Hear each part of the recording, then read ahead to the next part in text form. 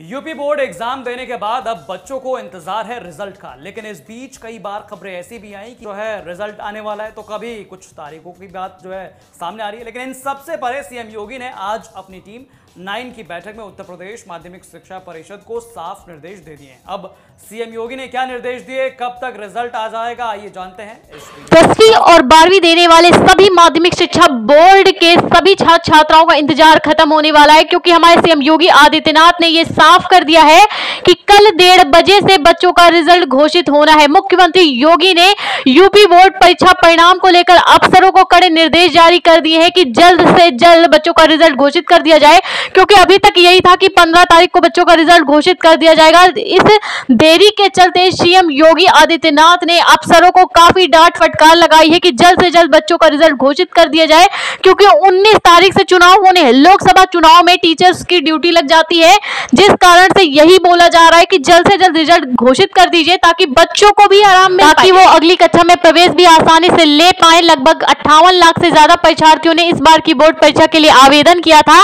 जिनकी परीक्षाएँ 22 फरवरी से 9 मार्च तक चली थी और 12 दिनों में कॉपी चेकिंग की प्रक्रिया भी जल्द से जल्द पूरी करा ली गई थी। 100 सालों का इस बार रिकॉर्ड टूटने वाला है कि इतनी जल्दी रिज़ल्ट घोषित होना है। अगर आप पिछले 100 वर्षों के रिकॉर्ड को देखें तो इतनी जल्दी रिज़ल्ट कभी भी सामने नहीं आया, ना ही इतनी जल्दी कॉपियाँ भी चेक हुई है, ठीक है? तो इसी रिज़ल्ट की प्रक्रिया को लेकर हमारे सीएम योगी आदित्यनाथ ने बैठक के माध्यम से बड़े निर्देश जारी कर दिए हैं कि बच्चों का रिज़ल्ट समय से घोषित कर दिया जाए। और आपको बता दें, इस बार हमारे सीएम योगी आदित्यनाथ बच्चों को बहुत बड़ी सौगात देने वाले, इस बार फ़र्स्ट सेकंड थर्ड आने वाले सभी परीक्षार्थियों को प्रोत्साहन राशि देकर सम्मानित किया जाएगा। ये बहुत ही बड़ी खुशखबरी है। यूपी बोर्ड के सभी दसवीं और बारहवीं देने वाले छात्र छात्राओं को जिनको रिज़ल्ट का इंतज़ार है, उनके लिए